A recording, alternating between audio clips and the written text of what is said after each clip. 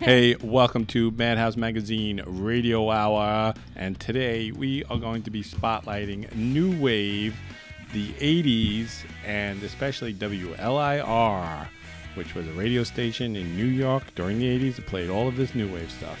So I don't even know where to begin. I got like a loose outline of what I want to talk about, but I'm expecting Cha Cha to carry the show tonight because the 80s were her time. That's when she sh- shined. She thrived during these 80s. She took uh, part in everything 80s. So, uh, and of course, we're, we're, going to intertwine our own life story uh, through these 80s too, because we came of age in the 80s. We Right. met during the 80s. Right. And we uh, took part of everything there was the Yeah. 80s. So, the um, good, the bad, and the ugly. yeah, so let's, let's start from the beginning. So, Okay.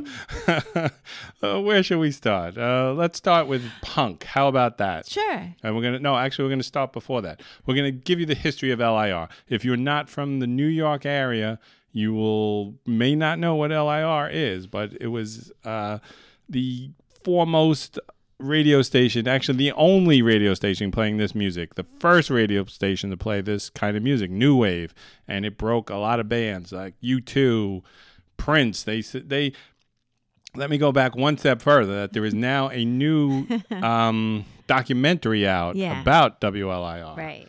It was made by um, Ellen Lipschitz, I think was her name. No, I forget the woman's name, but she was a Long Island uh, girl who grew up in the 80s, listened to this, and she made this documentary that's currently on Showtime.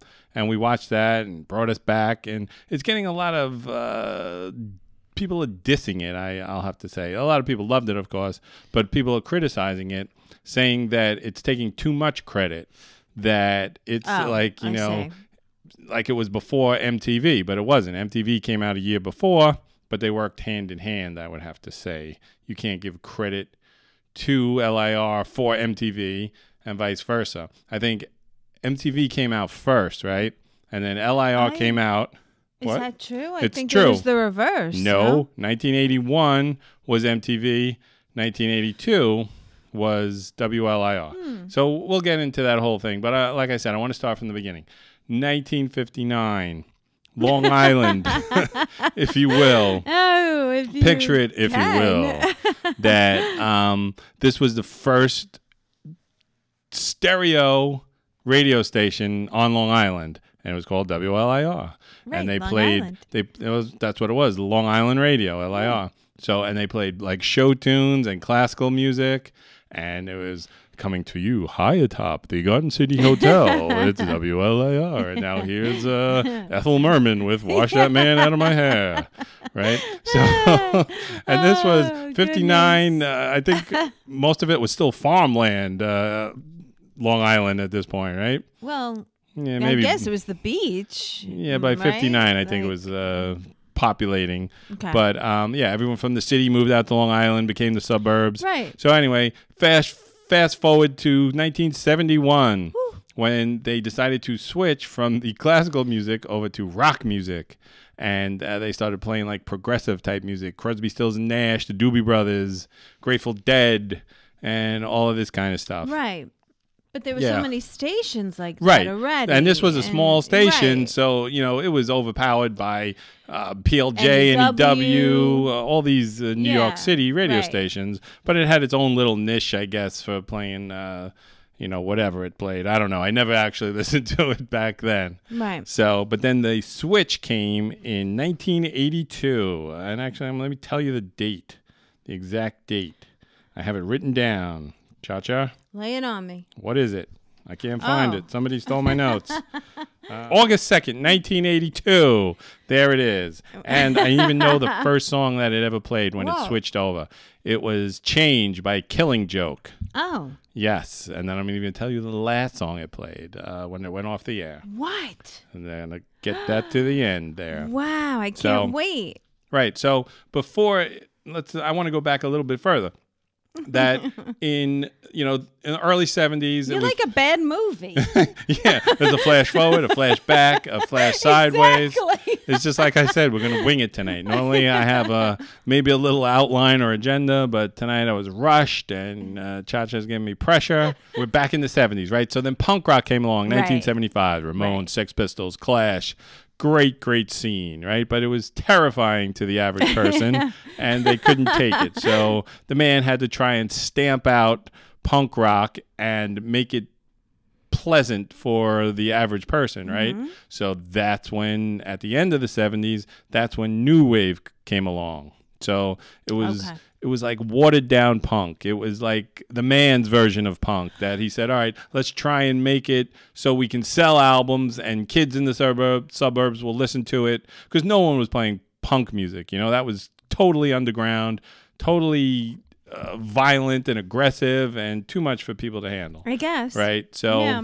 Yeah, because you couldn't hear punk anywhere except like these On uh, LIR. college, not in the 75. Oh, right. 75, Okay. 77, 70 That's late, right? It was underground college radio stations and things like that. Slowly, it became really popular. Like a band like Devo became nationwide with Whip It, right? And the then- B-52s. right? And then um, My Sharona by the Knack, that was new wave. They had uh, skinny Right. ties, right? So it's just sure. a lot of it was just rock music with skinny ties, you know, as uh, Billy Joel once said. You know, so you had all this type of music, and then a lot of the punk bands they, they evolved into new wave, and you had uh, Joe Jackson, Elvis Costello in the late '70s there, and you had Blondie, like I said, and the Right. Clash slowly evolved into more than just a punk band. And the Ramones kept going, and things like that. Um, Did you say the cause? of course, the Cars that was a big uh, thing Right. too, Yeah. and uh, you know you had bands like the Romantics. right. Um, yeah, Oh, so yes, it's hard to even remember. right. So now this brings us all together now when we're coming up to 1982. And of course, look at this album that I have here. You can't see it at home, but it's called No Wave. It was a classic compilation album. Uh, by the man to get kids to buy uh, New Wave. uh, so anyway, and we're gonna we're gonna talk about all this stuff. We're gonna talk about how we met. We're gonna talk about our life and WLIR and the '80s and MTV and all that stuff. But first, we're gonna play some songs. Now we're gonna play a lot of songs today, more than usual, because the music was so good during this time. So we're gonna start it off with I know you love this band, "Only You" by Yaz Oh, featuring. Alison Moyet, great singer. great. Then great. I think this may be my favorite 80s MTV type song. I'm going to say that basically for every song, so get used to it. But this one I really love. It's Berlin by, no, it's Sex, Sex. by Berlin. Sorry. and then, of course, we're going to play Never Say Never by Romeo Void. Yeah. These are classics from They 82, uh, most of them around 82, early Oh 80s. boy, enjoy that. Yes, so enjoy that, and we'll be right back. Hey, welcome back, Madhouse Magazine Radio Hour. We're doing the best of the 80s, New Wave 80s, and you just heard Only You by Yaz, Sex by Berlin, Never Say Never by Romeo Void. All awesome songs from the New Wave 80s. so now let's get right into it. Let's start where we met because we met right around. I think Right. we met the day that um, LIR went on the radio, and I'm going to tell you how I remember this now because I have to start early. That I was very smart, right? So I skipped the grade, as I Smart like to every tell everybody, right? I skipped, but then I was also a terrible kid as well. So I stopped going to school for six months. Oh my so goodness. I was supposed to graduate uh, June that year or whatever. Yeah, June, the previous year. But I didn't go to school, so I couldn't graduate in June. I had to graduate that January. there was graduation in January. Well, I graduated, but I didn't go to a ceremony because there was no ceremony. So I just graduated by myself. I was gonna So- say. I walked down the uh, hallway at the uh, park where I hung out. Um, so anyway, so I graduated in January of '82. That was then, Okay. and I was just bummed around doing nothing for quite some time, just playing in the band at night and doing whatever, sleeping all day. So I finally I got a job at a supermarket in uh, North Woodmere in Long Island. Actually, I lived in Right. Queens, but it was close by. So uh, the Key Food in North Right. Woodmere. It wasn't North remember. Woodmere, it was was it Wood, just Woodmere. Woodmere? Oh, Mhm. okay. So um, that must have been in because I remember Wasn't it was Hewlett? yeah whatever it was. Hewlett? was. Yeah, yeah, yeah. Well, I think it was Woodmere. Mm. Um, so anyway, Carol Ann will put up the actual address I- and a picture of the store later on, and the managers and all that. But the point is, it was kind of warm out when I started, so it must have been like around that springtime. And I remember because I had the job of carry out, Right. of course. So I had to stand in front, and women would say, "Yoo-hoo, carry my packages, please." and I would do that. And I remember standing out there with just a short sleeve shirt on at this time. But it turns out that was the greatest job ever because I was the only one who got tips, and I just had to stand outside with my little radio listening to music, and uh, it was great. But now you know who took over that job? They have uh, special people yes, doing that they job. do. that was my job. Now special people do it. But anyway, oh, so goodness. yeah, and then you started. Do you remember when you started working I there? do. Do you I remember the date? Not the exact date, but I remember that it was okay. So I graduated in June of '83. So I started in Key Food October of 1990. Get out of here! This whole story is Yeah. yeah. null and w- void I now. was in my senior year. I was working there that long before you started working there. I don't. Yeah, because I didn't start until the fall Of eighty two. of '82. All right. So anyway, Mm-hmm. August of that year. So right around that time, Mm-hmm. August of that year, August second was the first day WLIR came on with the Mm-hmm. new the new wave. Actually, they didn't call it new wave though. You know, they called it Dare to Be Different, new music. Right. Because they felt, I heard this. Now, the guy who uh, was the brains behind all of this was Dennis McNamara, who was the program director there, and he said, "Let's do this. Let no one else is doing this. We could do this." So, um, and he felt new wave was like the word groovy i heard him say that it was going to be passe and he pictured you know 50 years down the road WLIR is still there and you can just play new music new music new music and you're always uh, in. But if you're saying new wave then you know new wave is not always going to be there you know? You dig where i'm coming from? I think. well i don't understand which part you don't understand. Well, new wave a term. wave, he didn't want to use the phrase new wave. He What wanted to use did- new music. Oh. Exactly. Okay. So Okay, you see, new wave is uh, just a fad. New music is always. Okay. So that's what he I did. get it now. Yes. So they started playing all these kind of music, and it, it was just it came at the right time in the right place because, like I said, MTV came out the year before, Okay. and they were just playing whatever. So I think that the combination of LIR and MTV, like M- LIR gave ideas to MTV of what mm-hmm. songs to play, hmm. Right? Because nobody else were playing these songs before. That they would go uh, overseas, they'd go to Europe, to England, because all of this music was coming out of England. Right. Most of it was coming out of England at this time. Right. So LIR would go down there, they'd buy these records. The record companies would be treating them like kings. Here, take my album, take my album, you know? So, of course, they started playing uh, U2, uh, The Police. See, that's another thing where they got in trouble, too, because they said they broke all of these bands, and they mentioned bands like The Clash and The Ramones, where it doesn't make sense because these bands were out way before LIR came about in 82. I guess they what they mean Right, is they so- made them popular. and they kept playing their music during the 80s when no other radio Brought 'em to the station would. And. See, right. and, and and that's what you have to understand. This time in '82, you couldn't hear any of this music anywhere. You know, once in a while you'd hear, you know, like the songs I mentioned, like Devo and the Knack on regular radio stations. Yeah. But this underground stuff that no one heard of, they wouldn't play anything like that until it already became popular. Right. So LIR made it popular, and then these other stations would pull it in. Well, the technology wasn't there then. I mean, it was. We take it for granted now. You want to hear a song, you go to YouTube, or you know, you just play Well, it. of course, you know, yeah, you, you- buy it. But back then, they actually had to like fly to these countries and wait for that disc to come Yeah. out, and like, and wait for the, you know, to the, someone to give them the disc, and then run, you know, fly back to the states and, put it on immediately. Yeah, Yeah, It's a, not, and it was uh, it's just like that's a good point too, because Yeah. LIR was kind of like the social media that Right. uh, I heard. You know, they mentioned this during the uh, documentary that uh, you. You put it all together. There was these clubs, and then it was like you'd wait to listen to hear this new Mm-hmm. Song. Like, oh my God, hear that song! I gotta go get the album. Right. And then they'd have commercials about what was happening that weekend, what club you should go to, what band was playing where. Like, you know, now you just Yeah. open up social media and you know Right, everything yeah. there is to know. Go on the internet, everything you need to know. But here it was like a community Mm-hmm. of all these kids, and especially kids on Long Island who always get felt left out because they weren't part of New York City. Mm-hmm. So they're out there. So this was something that they had for themselves as well.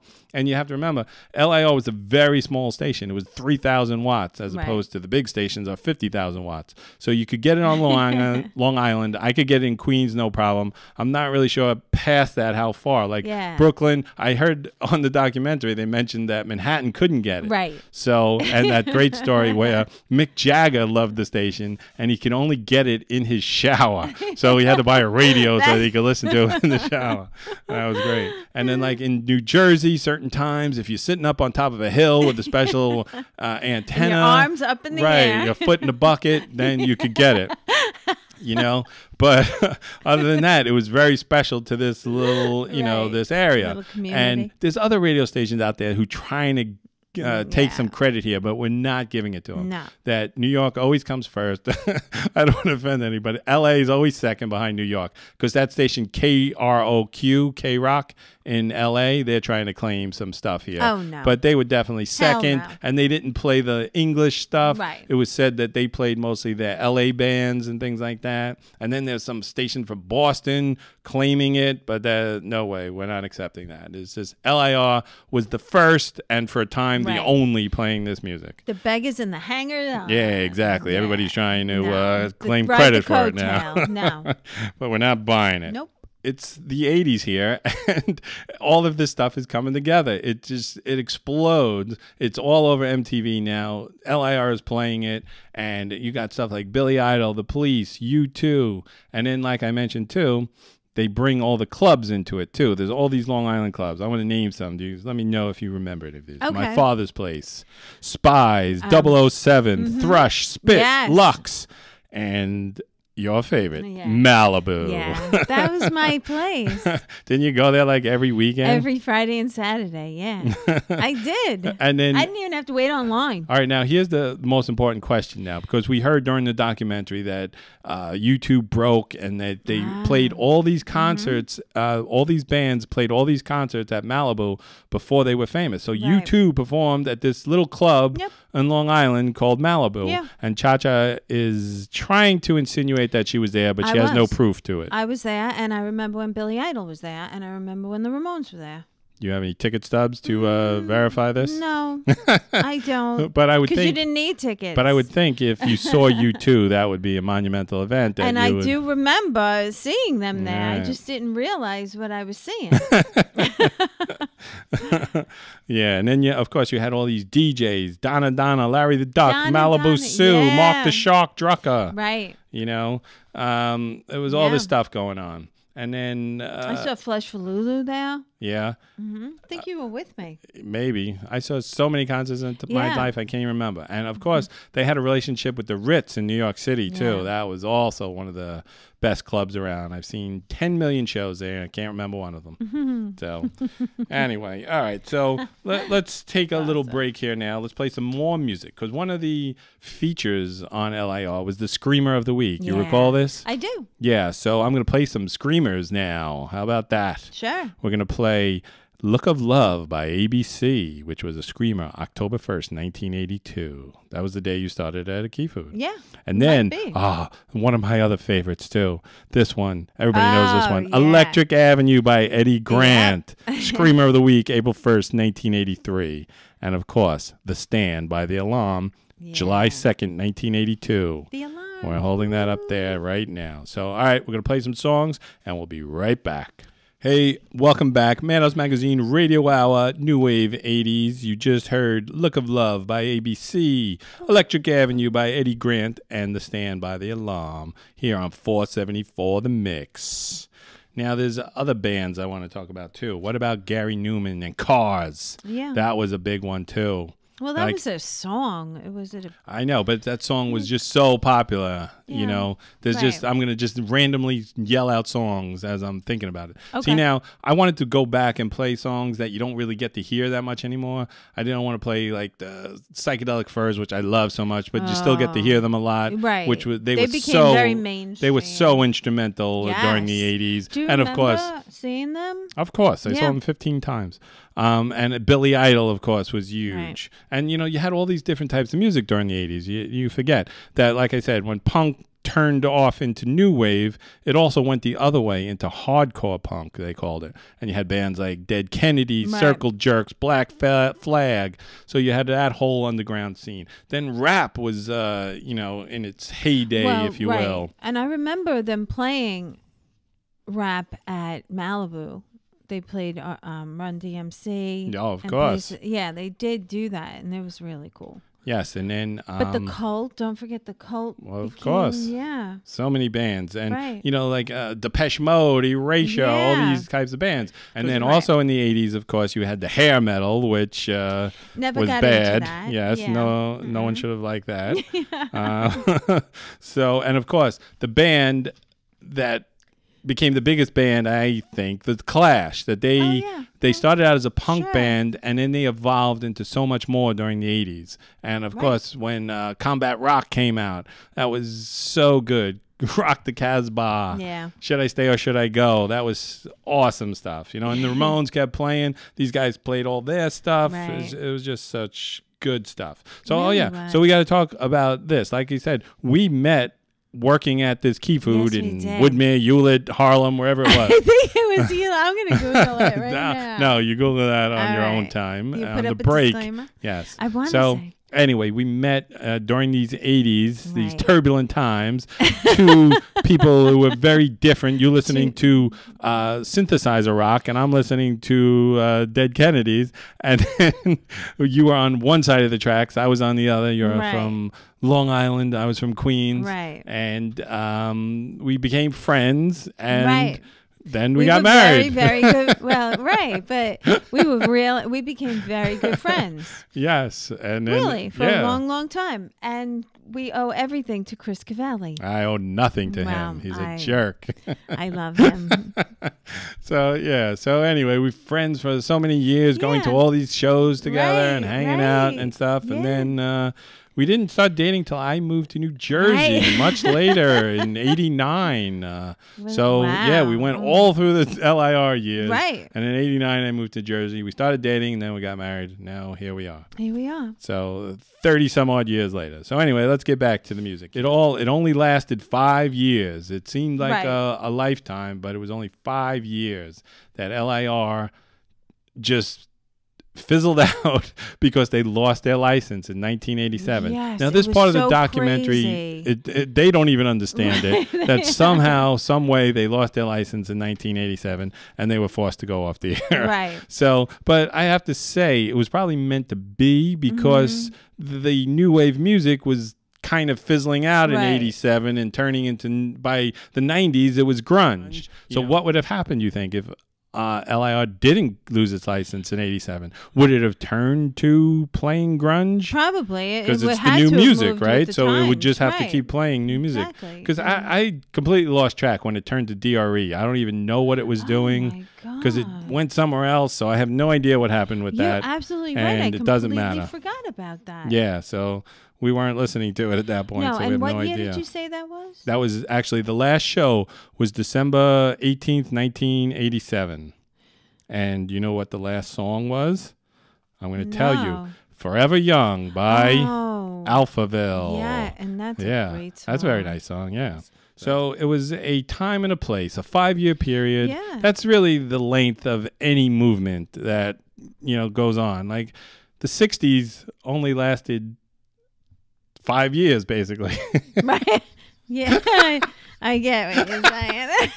so, you know, at first glance, that wouldn't make sense. But the '60s musically Right. didn't start till '64. By '69, it was turning into something else. Right. You know, it got through the Beatles, Mhm. through the psychedelic stuff, and then by '69, you had Manson and Altamont, and then it turned into Alice Cooper and glam. And that only lasted through punk. So it's just everything's it's- cyclical. yeah, it was a time and a place.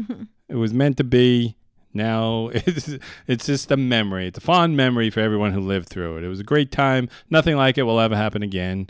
And uh, you know, we have to life, yeah. feel lucky that we were a part of it. Right. You know, I feel bad for our kids today. They have nothing like it. Exactly. And that is just like you have to think about this. Whenever you think things are bad or going wrong or something, you won the lottery. You were Mm-hmm. Yep. born in uh, Right. right. close to New York City during the cultural renaissance, if you will, the, Yeah. the greatest music and entertainment in the history of the world, basically. That people are born into poverty, dying in the street in countries all over the world. In this country, even, you know, uh, you could have been born into Appalachia, but you're born uh, Long Island, uh, New York City area, Right. and we got to enjoy all of this stuff. So, uh, Right. you know, we got to feel very blessed uh, to do that. And I do.